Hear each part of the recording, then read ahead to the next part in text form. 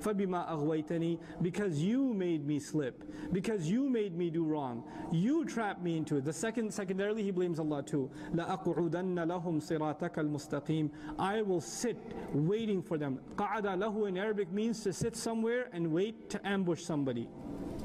Qa'ada means to sit somewhere, to, and with a lam means to wait and you're waiting to ambush somebody. Like imagine on outside the door, one of you guys is behind the door of the masjid with a baseball bat waiting for your friend to come out.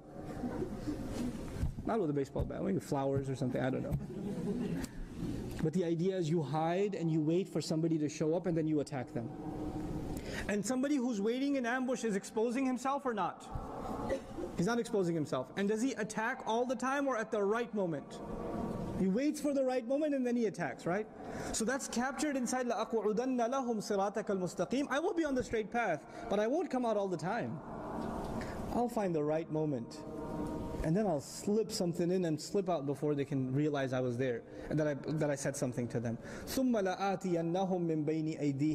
Then I will come at them from right in front of them. What is, what is right in front of us? The straight path leads to Jannah. I will come at them and say, Don't go here. Don't, don't go to Jannah. Jannah is too far, man. I gave you something right now. Why you gotta work for Jannah? I'll give them short term benefits. I'm giving you one of, e one, one of the many interpretations of each. He'll come at them from in front of them. وَمِنْ خَلْفِهِمْ I'll come from behind them. I'll come from behind them, pulling them. You know? Somebody who's attacking you from behind wants you to stop. You're making progress and they want you to stop. And they want you to head back. This expression is used in the Quran.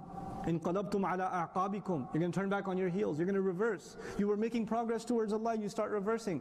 I will see that they're making progress and I'll start yanking them back. I'll attack them from behind. وعن شمائلهم وعن إيمانهم وعن شمائلهم I'll come at them from their right and from their left. This has been interpreted in many ways. But their right means they'll be among good company. I'll still come to them. They'll be in bad company. I'll still come to them.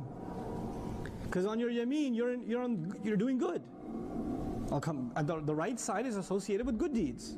The left side is associated with bad deeds.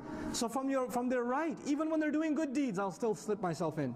Even when you're reading Quran, I'll slip he'll slip himself in. That's why Allah says, فَإِذَا قَرَأْتَ الْقُرْآنِ فَاسْتَعِذْ بِاللَّهِ مِنَ الشَّيْطَانِ الرَّجِيمِ When you're reading Quran, seek refuge of Allah from shaitan.